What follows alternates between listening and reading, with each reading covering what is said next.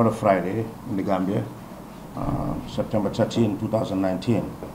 Um, um, as we are gathered here today, um, it is uh, humbling uh, given the trajectory of the entire uh, procedure of these, uh, the, the, circumstances leading to today's event.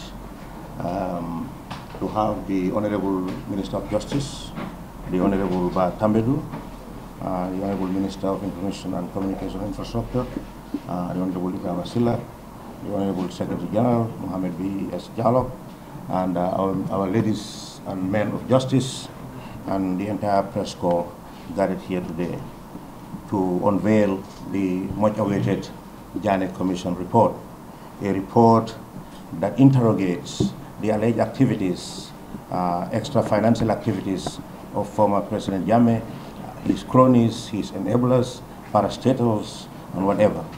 Um, without much ado, uh, I would just yield back to the Secretary General, uh, who will give a brief statement on behalf of the President, and thereafter the Honorable Tambadou would proceed with the report and the white paper, and then from there we would have um, questions uh, from members of the press and answers from members of the high table, as it were. And then, uh, however, um, I'll be remiss, really, if I proceed or yield over without making a very sobering comment. It is, it is quite um, shocking, to say the least, that um, the document, the report that we are about to unveil has actually been significantly linked to the press corps, the online press corps.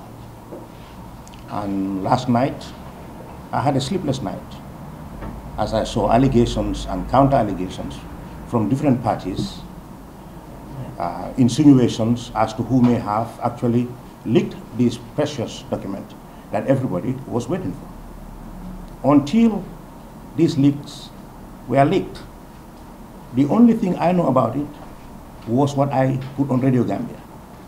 That the forfeited landed properties would amount to close to a billion dollars. The sale from the cattle and other domestic uh, articles was a hundred million dollars. I never saw the report. I never saw the white paper. Until I speak to you, I have not seen the white paper. I have not seen the report. Until as I am speaking, I haven't. So, so it is quite unfortunate that we have men and women among us in the civil service who are now bent on actually leaking every document before the document is due for public view. It's just unfortunate. And what comes with this is that people who have nothing, absolutely zero, to do with these leakings are, are maligned, insulted, you know, all kind of garbage, you know, being thrown at them, you know. But then this is a very serious matter. I'm sure the Attorney General has his ways of dealing with it, and when he comes to the table, he'll talk about that. Mr. Jallow, you're welcome. Thank you very much, uh, Mr. Sankareh, the Honorable Attorney General and Minister of Justice, the Honorable Minister of Communication, um, Information and Communication Infrastructure, um, members of the press, you know, other members of the, the ministries uh, present here. Um, thank you very much, and uh, it's an honor to be present here in the launching of this this report. But first of all, let me just, you know, uh, make a short comment on the statement made by Mr. Sankareh in terms of the leak from the from the civil service.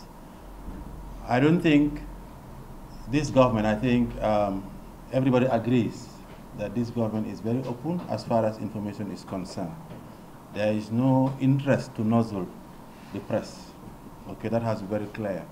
But I think at the same time, we have to understand that there are certain things which may have, you know, some security risk as far as the state is concerned. That is why in all developed democracies, every piece of information has different level of security. Certain things can be available to the public immediately. Other things have to be available, you know, after certain certain considerations are made. Um, as regards this report, I think it was the prerogative of the president to set up this commission, and we thank the Minister of Justice and the commissioners for doing a diligent work. It is also His Excellency the President who decided, based on the powers given to him by the Constitution, you know, to, um, to share this report publicly because it is felt that it is in the public interest that this report is shared. So that, I mean, nobody is saying that we are hiding anything. Okay, both the report and the white paper will be shared um, to, to, to the general public. Uh, like Mr. Sankareh said, it's unfortunate that maybe some people have leaked it, but it is no secret that um, I think it was last the last cabinet it was discussed, and the public was informed that cabinet was discussing um, this um, this report. So on that note, I would like to thank once again the Honorable Attorney General and Minister of Justice and all the commissioners, you know, who spent weeks and months um, to and a lot of uh, investigative work to, to come up with this comprehensive report. Thank you very much. Good morning.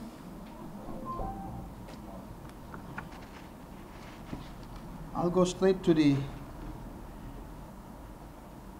details. You will recall that upon the installation of the Barrow administration in 2017, preliminary reports received from, among other institutions, the Central Bank of the Gambia, the Social Security and Housing Finance Corporation, the Gambia Ports Authority, GAMTEL, NAWEC, AMRC, GNPC, and other public institutions and government agencies indicated that substantial funds were either directly or indirectly withdrawn, paid out, or expended on instructions or directives from received from the office of the president during the tenure in office of former President Jammeh sometimes for unknown purposes. It was discovered that bank accounts were opened into which funds paid by members of the public and intended for the state were directly controlled and expended by former President Jammeh or on his instructions. It was also discovered that former President Jammeh during his tenure in office had accumulated at least 131 known landed properties registered in his name or in companies and foundations in which he had shares or an interest, and that he operated at least 89 private bank accounts directly or through the aforesaid companies or foundations. Based on these preliminary reports, his Excellency Adama Barrow deemed it in the public interest to launch an inquiry into the financial and other activities of public bodies, enterprises, and offices as regards their dealings with former President Jammeh, his family members and close associates, his financial and business affairs, and the assets accumulated by them during his tenure in office. Accordingly, in exercise of the powers conferred on him by Section 200 of the Constitution of the Republic of the Gambia 1997 and the Commissions of Inquiry Act, Cap 30, Volume 5 of the Laws of the Gambia, His Excellency Adama Barrow, President of the Republic of the Gambia, on 12 July 2017, issued a commission of inquiry into the financial and other related activities of certain public bodies, enterprises, and offices as regards their dealings with former President Jammeh and the accumulation of assets by him, his family members, and close associates, and for connected matters through Gazette Legal Notice number 15 of 2017 issue number 0796 with the following membership. Ms. Surahata B.S. Janneh as chairperson, Ms. Abiose George as member, and Mr. Baima Sen as member. The commission was assisted by Counsel Amie Bensouda, who was appointed by me. The members of the commission were thereafter sworn in, and the terms of reference of the commission included to inquire into and investigate the circumstances surrounding the withdrawal of diverse sums of money from the Central Bank of the Gambia, including from the International Gateway account, the Carnegie Mining Project account, and any other account or fund lodged with the Central Bank, to inquire into and investigate the involvement of the executive arm of government under former President Jammeh in the withdrawal and application of funds or resources of public bodies, enterprises, and offices or projects, including but not limited to Social Security, GPA, GAMTEL, NAWEC, AMRC, and GNPC. To inquire into whether and to what extent the resources meant for the government or people of the Gambia, including grants, donations, and loans, were diverted, converted, or misappropriated by or under the direction of the former executive. To investigate the extent to which former President Jammeh was involved in, in public procurement and whether any losses were caused to government by reason of such involvement, to investigate the existence, nature, extent, and method of acquisition of assets and properties of former President Jammeh, his family members, and close associates within the period from 22nd July 1994 to 21st January 2017, and to investigate whether such assets and properties were acquired lawfully or otherwise. To investigate the companies, businesses, and bank accounts operated directly or indirectly by former President Jammeh and his close associates or in which he had an interest, or in companies in which he had an interest. The Commission was also mandated to identify whether any person or group of persons committed any offense in relation to any matter inquired into by the Commission, and to recommend ways of improving on the supervision of government accounts in a bid to ensuring that irregular withdrawals from the said accounts do not reoccur, and to recommend ways of recovering or restoring any assets, monies, or other resources that may have been illegally taken misappropriated, misapplied, or lost. The Commission submitted its report in nine volumes, totaling 1,600 pages, to the President on 29 March 2019.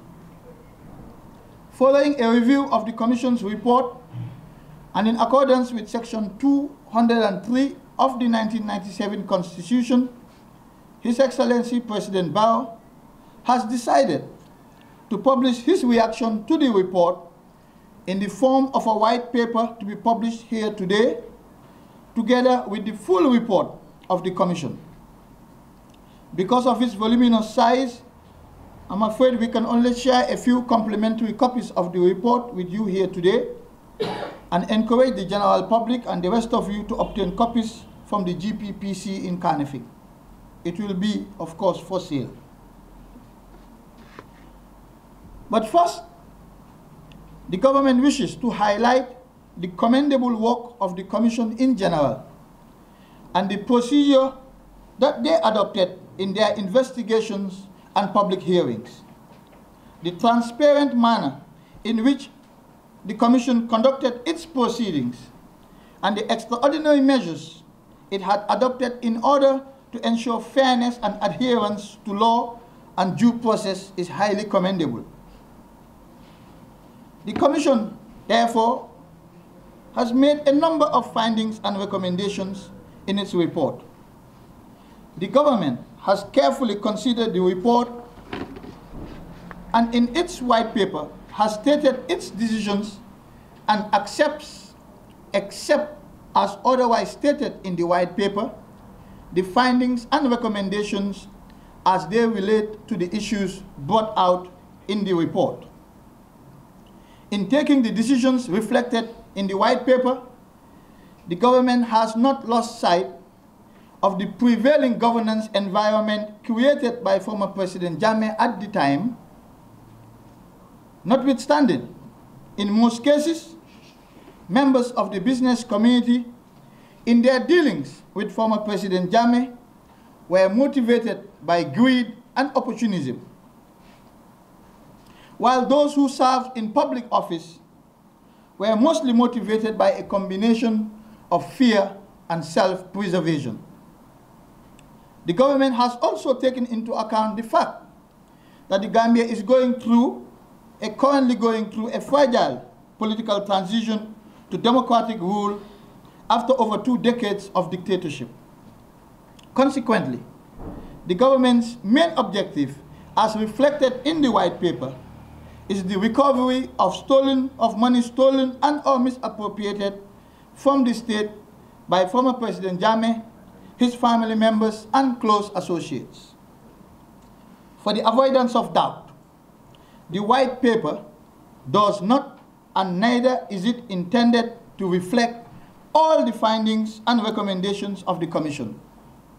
It only contains the key findings and recommendations that the government wishes to highlight from the report and mirrors the findings and recommendations against the list of individuals identified in Volume 9 of the Commission's report.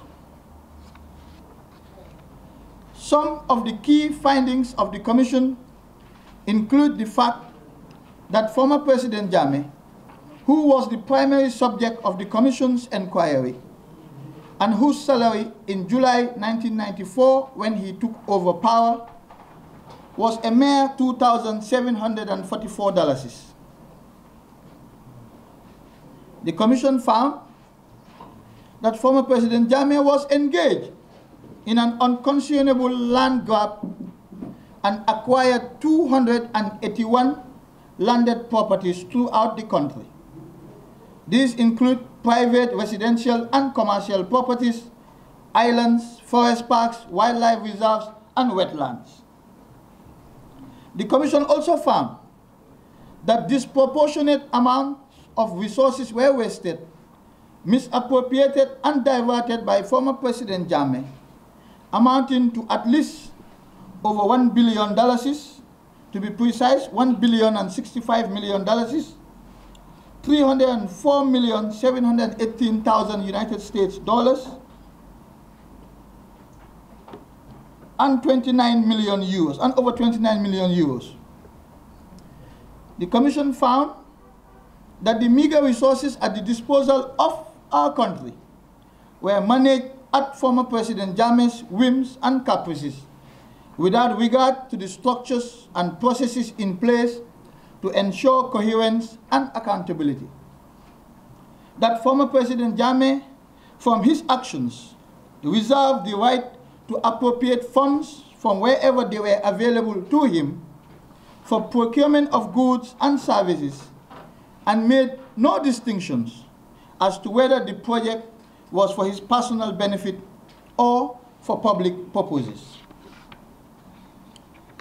That at least three million three hundred thousand dollars, one million eight hundred and fifty-eight thousand United States dollars, and other amounts in pound sterling, mostly in cash, were improperly authorized and directly transferred for use by Zainab Jammeh from various accounts in the country.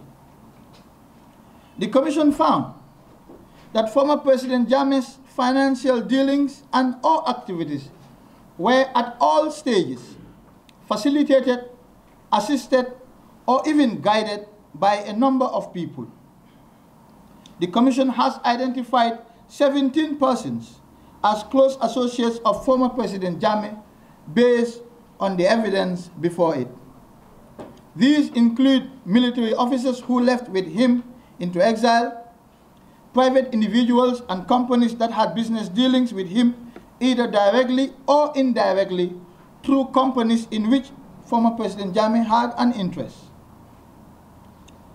Apart from the persons who fall in the said category, the Commission also found that there were others who worked with former President Jammeh by virtue of the offices they held, many of whom were also involved in his financial dealings and or activities.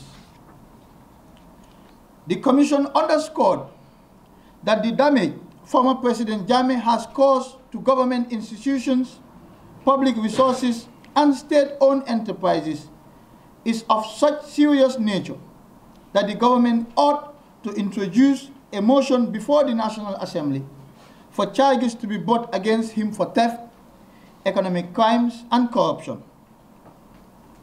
Based on the recommendations of the Commission, the actions taken by the government are expected to generate at least a billion dollars from the assets forfeited to the state and to be sold. However, it should also be emphasized that the Commission was not only established for the recovery of monies, even though it was equally important that there was a credible and transparent process of accountability which provided the government with the legal and evidentiary basis for our recovery efforts. The Commission was also meant to expose the level of corruption and the extent of reckless disregard for fiscal discipline and safeguards against abuses. Therefore, the Commission has made a number of policy recommendations in order to improve on these safeguards. Finally, ladies and gentlemen, I wish to inform the general public that a lien has been placed on the properties of the following persons until further notice. Mr. Amadou Samba, Mr. Tariq Musa, Mr. Fadi Mazegi, Mr. Ilya Raymond, Mr. Martin Keller, Mr. Nikolai Bazenu, Mr. Dragos Bazenu, Mr. Ali Yusuf Shawara, Miss Warren Yai Sise, Mr. Tony Ratas, Miss Fayal Diab Ganem, Trust Bank Limited, and Guarantee Trust Bank Limited, and M.A. Kharafi and Sons. I thank you all for your attention. We will share copies of the white paper with you, and as the government spokesperson said, unfortunately we can only spare a few complimentary copies of the full report. It's voluminous. You can go to the GPPC and try to obtain it. I'll now cede the floor to the Honorable Minister of Information. Thank you all. Uh, Minister of Justice, Secretary General, Office of the President, the government spokesperson, Director of uh, Information, um, staff of the Ministry of uh, Justice, colleagues in the media, we want to thank you for attending this important press briefing.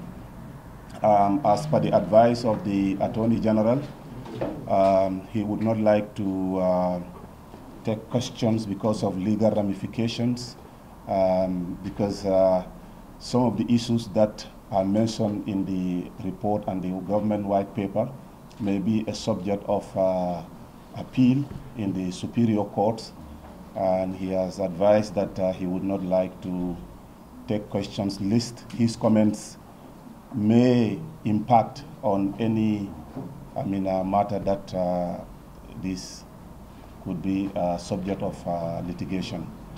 Um, I think uh, this is uh, an important milestone for the government of the Gambia, having gone through an important process of investigation, and the actual report is now public.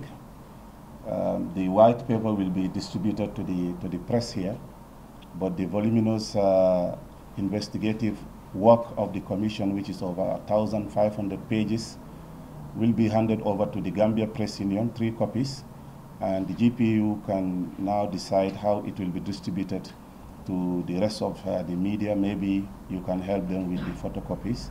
or those that are eager to get their own complimentary copy can just go and uh, buy from uh, the Gambia Printing and Publishing Corporation. But uh, this is one important step of strengthening our governance and democratic process that citizens ought to know what is being done in their name.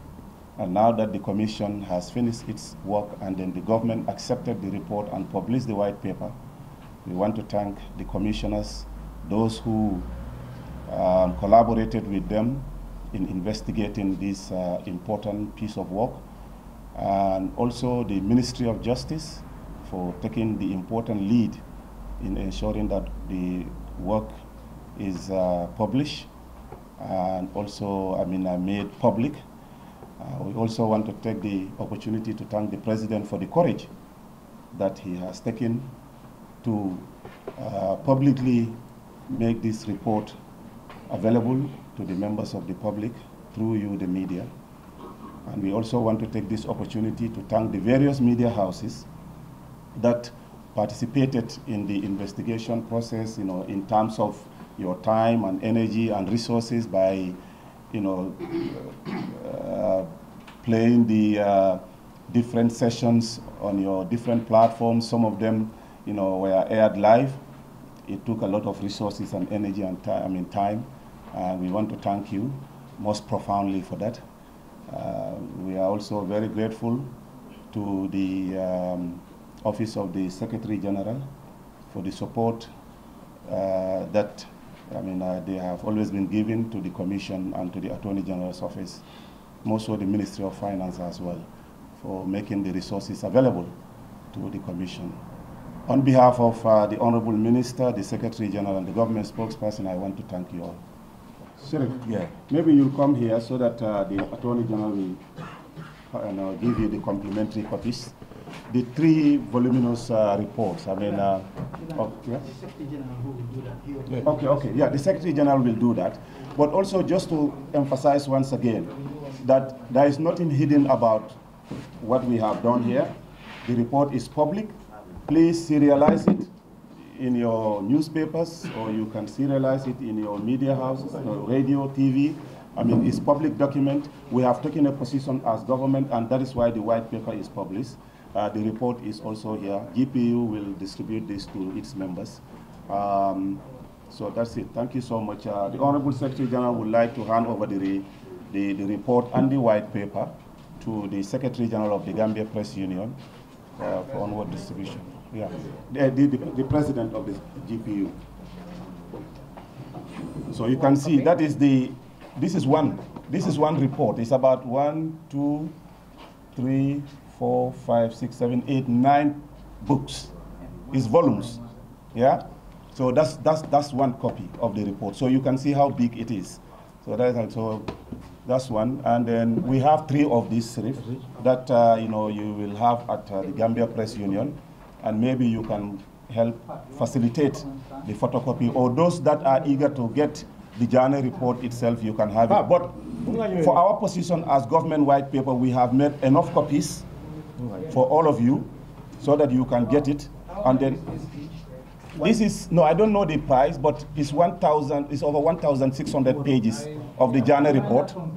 Yeah, you can find that out from the printing department. But we are giving you. This is for the journalists who are here today.